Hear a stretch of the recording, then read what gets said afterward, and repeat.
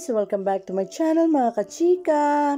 So ito na nga guys, ang latest update sa ating showbiz chika Yasi Pressman sa kanya namang IG post ganap.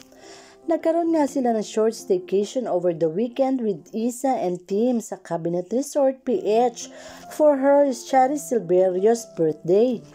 At ang galing talaga ni Yasi sa kahit anong sports dahil nagkatuwaan sila doon yung parang archery ba yun, yung pinapana at tuloy pa rin ang kanyang workout, just let's get it. At ano nga kaya itong pasabog ni Yasi sa ginawang shooting sa Dolby Theater sa ABS-CBN? Abangan natin yan for Metro Mag PH at Oppo PH. Narito naman ang ilang larawan niya at ang video details, ilang komento ng netizens sa ating tunghayan.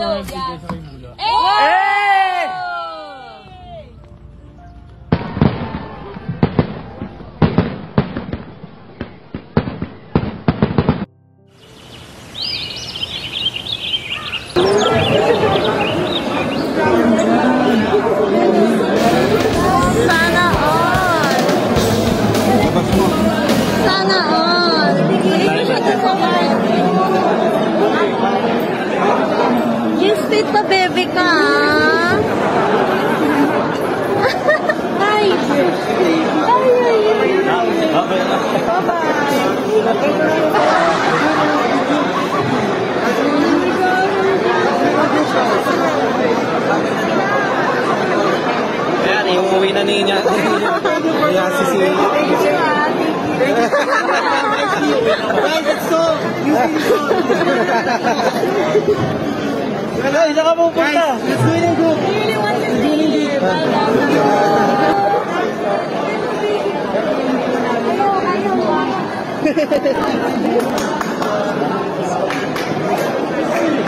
Newsfeed, come here. Don't do that, we'll keep you, huh? Uwi ka na lang.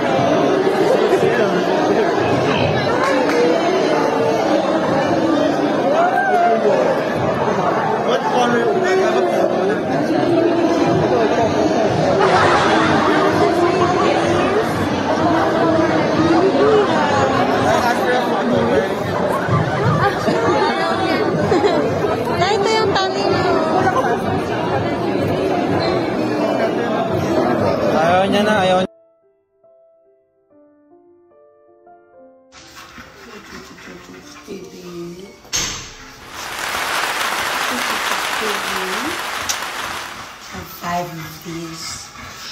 Five little babies. Five little babies. Switch it up real quick. Yes, queen. Wowza. Yes, you did it.